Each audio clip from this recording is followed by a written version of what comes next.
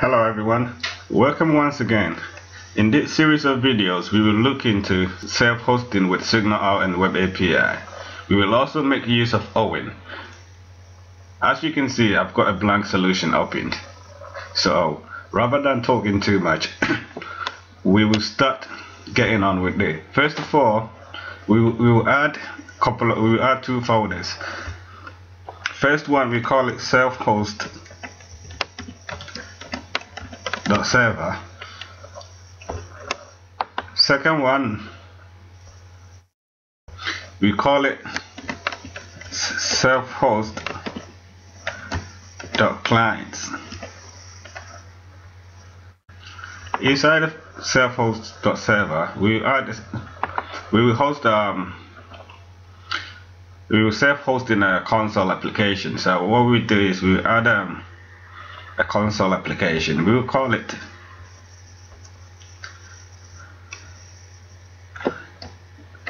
self-host dot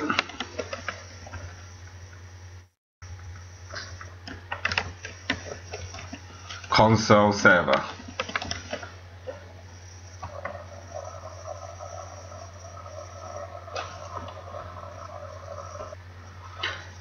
now inside our console application now we open um, a package manager console. So you, obviously if you have it opened we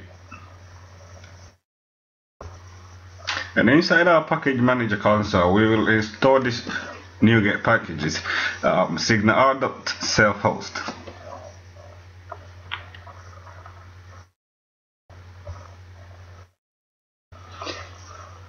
We will also install webapi.owin self-host.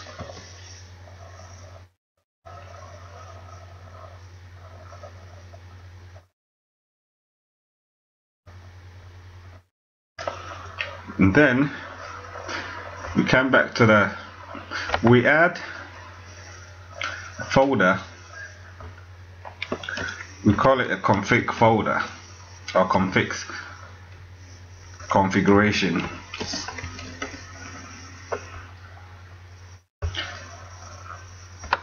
Inside the we add a class.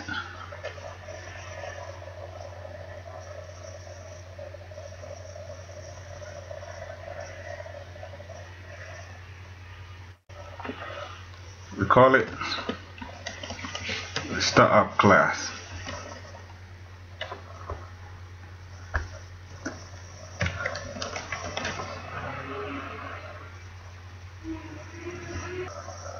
and inside our configuration we add another startup. Then it's a public partial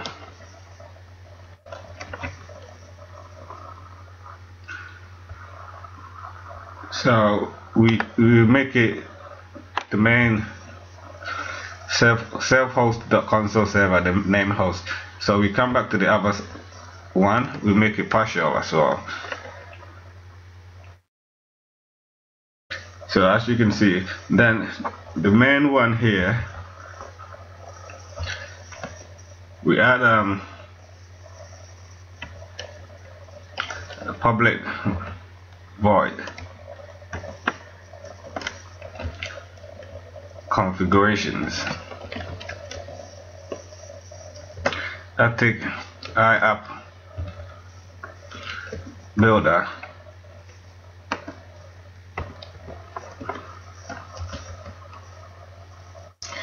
And then we call this method.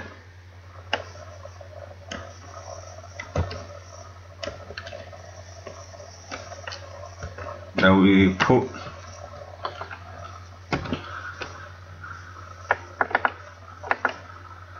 copy this method. We come back to the other startup. Creating a method that takes the I app builder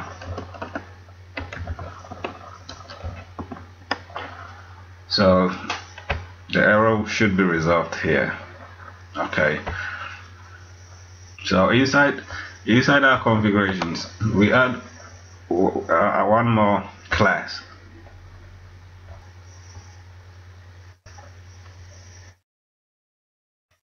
Call it the root config.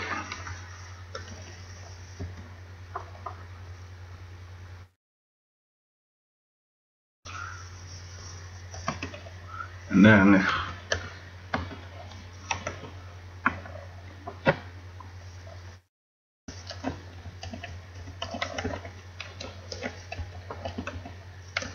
register root uh, um sorry. This this is um, a method instead of a class.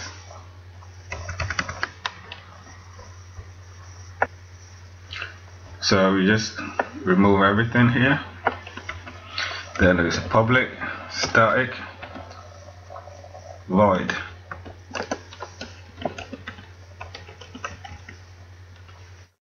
register roots. So this will be our, our root template for our web API service. Dot roots. Dot map. Http route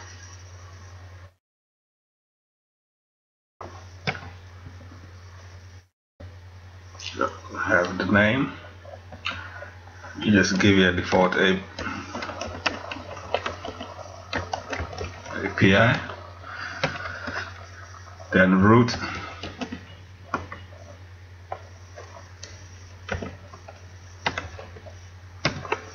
API then put our controller. Just like normal web API or MVC put our ID then our defaults.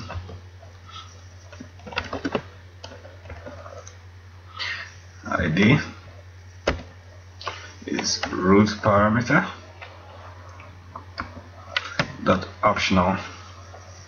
So now we've got our root set up. So we come to the startup inside the uh, configuration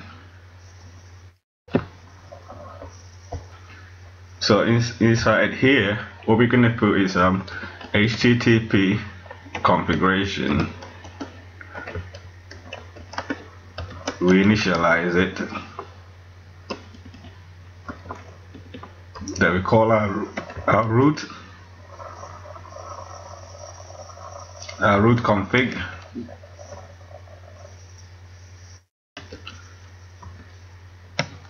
register root and we put our config inside. Then what we're gonna do is we're gonna um, app dot um, use we're gonna use this namespace use Cors. Then the, the Cors is cross origin request. So we call the Cors option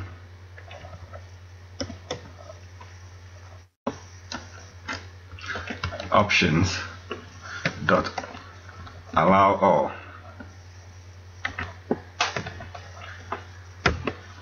So we can resolve that by downloading it from NuGet.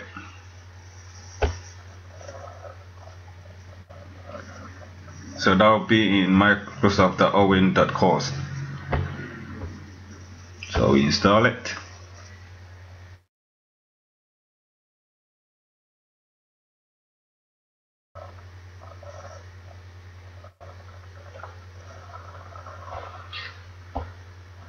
then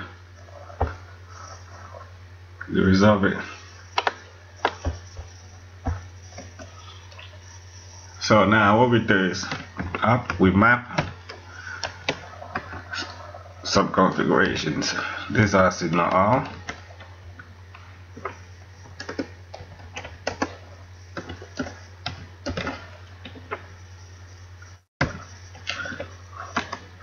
inside here this is what we will do.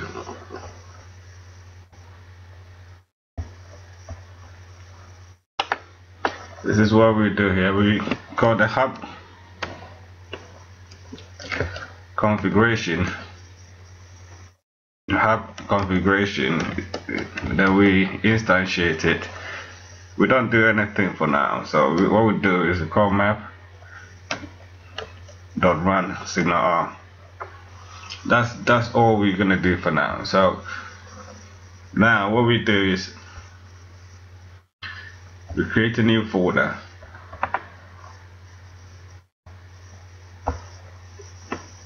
And we call it hubs just like the usual SignalR stuff. Then we add a new class a hub class. We call it notification hub course it's a public class.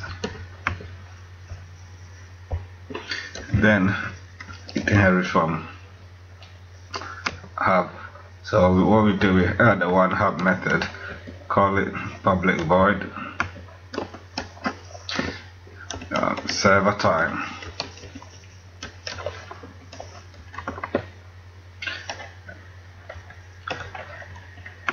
Clients.All dot displays time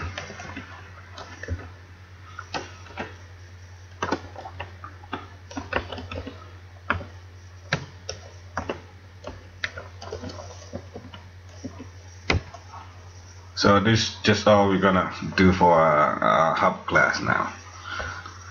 So what we do is we come to our program. So inside our program, what we do is we, call our URI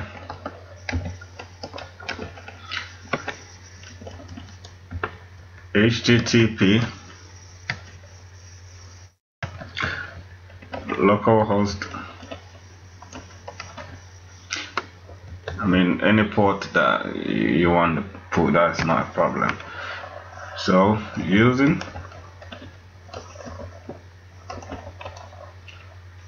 web app dot start. Then we put our startup class and our URI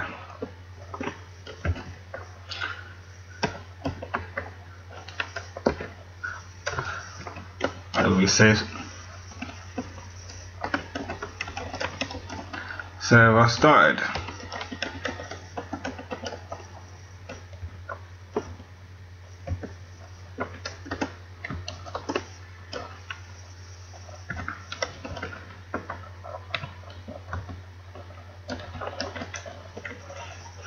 so we display this information and we stop the console from escaping. So this is what we've got for now. We've got we're going to run it to see uh, what is going to happen. I mean we might have an error because I'm not running it under an administration mode. So we go ahead and run it to see